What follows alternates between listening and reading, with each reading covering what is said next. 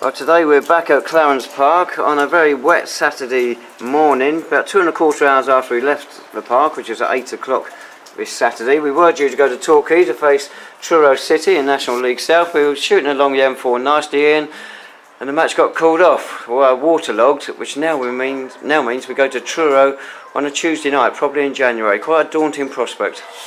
Yeah, disappointing, David. Obviously, um, you know, it's not it is probably the longest trip now we're going to have for the remainder of the season. But also going to Torquay sort of took four hours off the around trip, so disappointing from that side of it. I mean, obviously they've they're, they're probably guided by Torquay's rules and regulations, so we have to respect that side of it. Um, but at least they let us know as quickly as they can. As I say, we was, was, was an hour into our journey, making really good time as well. Um, but to obviously get the phone call was disappointing. Um, so we will have to do it in January, um, and then it becomes sort of a 12-hour, probably a day, two days off for the players uh, in terms of, of planning and preparing and, and, playing the game and coming home. So difficult, but you know we're we're in this league for these sort of things, and uh, we have to respect the decision of the the officials and the league, and then uh, you know make sure we get things right in terms of what we're going to do in the next next game against Wealdstone. Right, got a little bit of player news, starting with Tom Bender. He got an injury, foot injury on Tuesday, totally accidental collision. Uh, I believe you've got an update on that. Yeah, he's um, the, the, the news from the hospital is that he, he's definitely broken two toes. Um, he's in a boot at the moment, and they're saying that's anything from two to four weeks.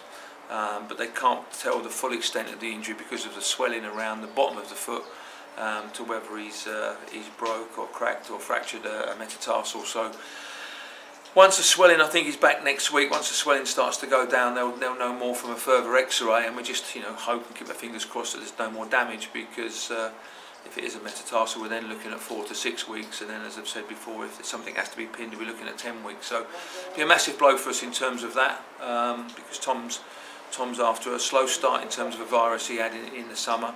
He was really coming back and playing very, very well, I felt, and uh, had been a major part of us defensively over the last couple of weeks and you've already brought in one player this week. You talked of uh, player changes during the week. You brought in Michael Clark from uh, National League side Braintree Town. Yeah, I mean it's something that we'd, we'd been looking at over the last couple of weeks. We'd, you know, we'd, we'd, we'd, actually signed him after the game on Tuesday night, so it's not something we brought in um, because of obviously Tom's injury. It was always going to bring another defender in because I felt we we were lacking in terms of defenders. We've said it all the season. We haven't really got to grips with with the defending in this league apart from when you know we had Richard Show Silver who was who was keeping clean sheets and scoring goals and then unfortunately he had the knee injury was going to keep him out for the rest of the season. Um, so I just felt we needed another defender. It was putting a lot of pressure on Lewis Knight and David DeHagew and Tom Bender. You know we'd changed from a three to a four. Um, and even now as I said you know until we get the full full quantity of defenders in you know we've got to look at some games we might play over three we might play at four but I think we've got to take each game as it comes um, but certainly after after Tuesday night, it was a priority that we got Michael over the line. Jason Banton's loan period ended last week. He's gone back to Torquay United. Any more loan signings a possibility? Um, it's something we've got to obviously look at. Um, obviously, going out of the the trophy and the FA Cup so quickly, you know, it's important I sit down with with the owners this week and see where we are in terms of you know their aspect for the rest of the season um, and what we need to do.